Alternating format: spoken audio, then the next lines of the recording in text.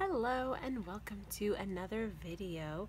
Uh, today I'm also doing a little bit like what I did in my other video uh, when I made this card, but instead I'm using this piece that I already embossed using the new and Stampin' Up! Cut and Emboss machine.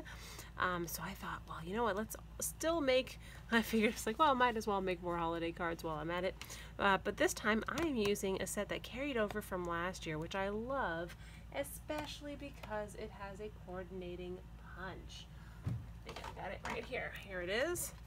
So it has this lovely tree punch here, which is great because it actually punches out all four of these different trees.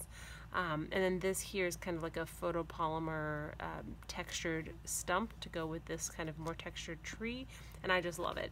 And so this is one of those sets that I'll definitely use again this holiday season. But I thought that for now, let's use just this Merry Christmas sentiment. Um, so I thought for this one, so this one I had kind of kept in like the blue and white. And for this one, I thought let's go a little bit more with very vanilla and we'll keep that shaded spruce and let's tie in some gold. So I've already mounted up my Merry Christmas. You can tell I've used it with red before. Um, the red stains it a little bit. Reds and pinks will do that to your stamps that are photopolymer. Uh, that's totally normal. It's not going to affect your stamping um, quality. So I can move these off to the side for now because I am using the Tasteful Labels dies here. Um, I wanted to find one that would fit this Merry Christmas without a bunch of extra space. So I found the one that was right here and it fits it really nicely and it has a little bit of space on the top and the bottom. Originally I had thought this one would work, which it could if I made it longer, but I thought I would do that in its own video for later to show you how to do that particular technique. So next I want to heat emboss this sentiment. Um, so I need my Versamark ink to do that. I'm going to use my gold embossing powder to do that and I've also got, just in case, I've got a backup piece right here. Um, so I'm going to use, just because in the previous one, plus it's so small, I'm actually going to use my embossing buddy here. We used to carry this, we don't anymore, um, but you can find them in most stores. And worst case, you can always use like an old like sock or something and put some uh, like cornstarch in it, and that will do the trick as well. Essentially, you're just removing things that could cause static um, and get the powder to stick to it. So let's go ahead and again though this is a photopolymer stamp so let's use my Stampin' Pierce mat and then the black background or the black the gray background I think will help as well. So I'm just going to stamp with my Versamark ink and I'm trying to get it in the middle without there's that. And here's the thing though, because I've pre-die cut, you definitely didn't need to do that, because I pre-die cut the uh, stamp, or the, the piece of cardstock, I'm actually going to use, once I have put the powder on, I'm actually going to use um, these, they're just jewelry, I think they're for beads. Um, back when I was attempting to get into like beadwork, that didn't last long, but um, I did keep this, which is very useful for holding these pieces when I am getting into uh, heat embossing something that would otherwise hurt my fingers. So I just pick that up. There's that. Though I do recommend, I, I essentially just die cut it ahead of time to, for timing purposes.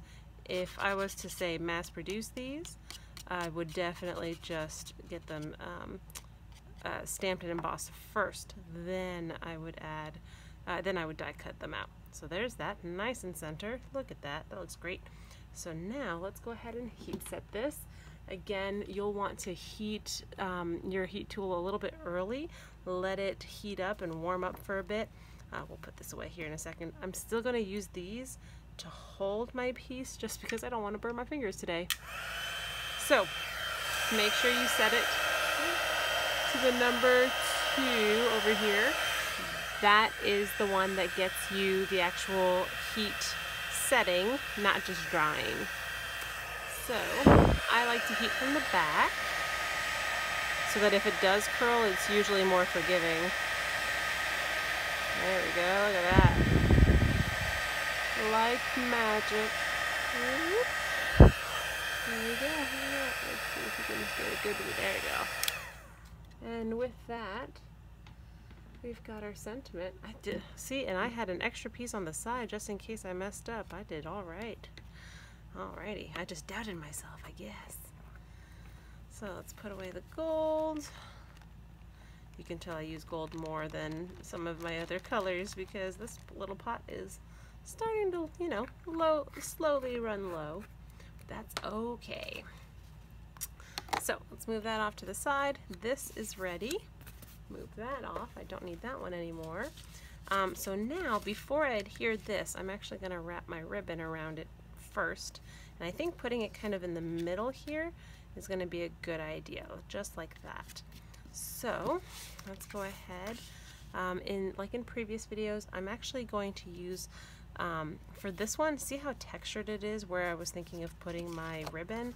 I think that for that reason alone, glue dots won't do it. So I'm actually going to use my Stampin' Seal Plus for that one because I think that that's going to be the better call in the long run.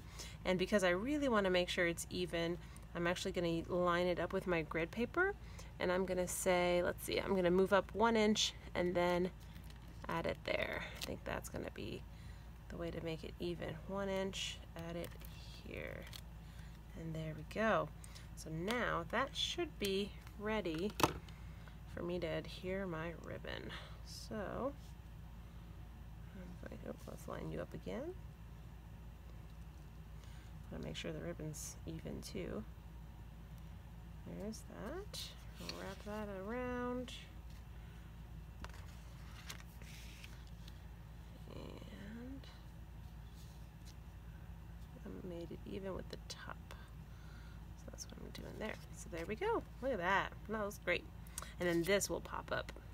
So before we do that though, let's go ahead and adhere this to our card base. Let's also use the Stampin' Seal Plus because of that embossing there and we'll just nice into the top. There we go. And so I thought this kind of like landscape look would re look really nice with this card base. So, there we go. Push that down. And that looks great. So now let's go ahead. I think on this side will be the right call. So let's go ahead and do that. Grab my dimensionals. And I'm going to put four, one in each corner. This would have been a good piece if you had like bones left over, these, these border pieces. Those would have been good ones for this piece. So I'm going to take that off.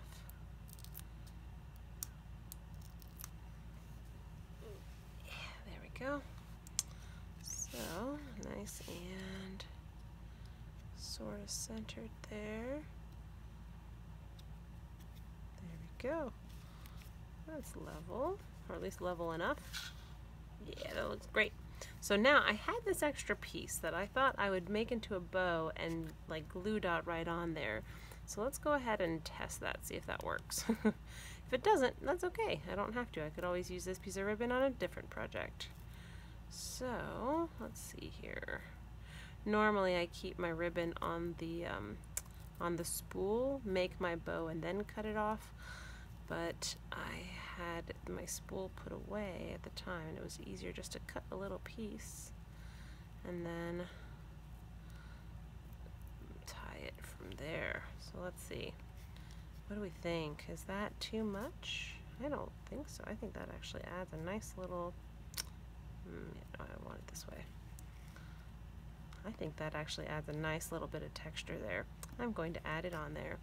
So let's go ahead and do that. Just fiddling with it now. Okay, so let's go ahead and add another glue dot, which we've got one right here, handy. Let's right in the middle there. Uh, glue dots are really great for ribbons. Uh, they help keep them in place really easily. So I'm going to go ahead and adhere this, and then I'm going to trim the tail here. There's that. Boom. So uh, these are just a regular pair of scissors. I've got my paper snips are more for paper, um, though one of these days I'll probably go ahead and get my own paper snips for just my ribbon. I'm to cut that. There's that. Look at that. And with that, I've got another little card ready to go. And I could add an inside sentiment. I could even add, if I wanted to, this tree. I could stamp like a series of them right in here. Um, you know, that would be a lot of fun to do. Let's actually do that. Let's grab my shaded spruce.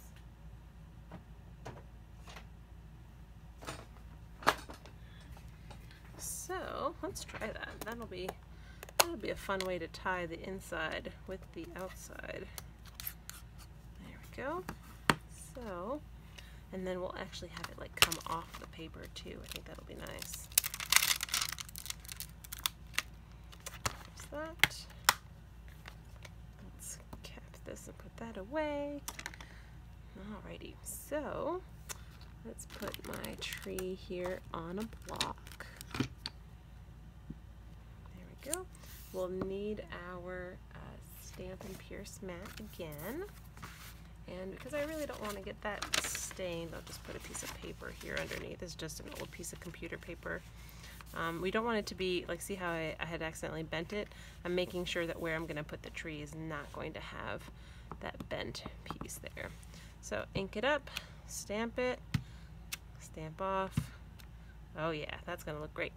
So that's what I'm going to do. I'm essentially going to stamp it and stamp off. And then let's do it again.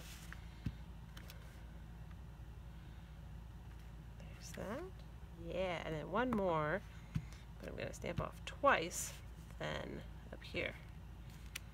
And there we go. Look at that. It kind of ties in the front to the inside. I like it. I like that a lot. So, there's that. Put away my ink before my hand gets covered in it. And there is my card. Uh, if you need any of the materials to make this, let's use my bone folder to press that seam down here a little bit more. There we go. That folds much better now.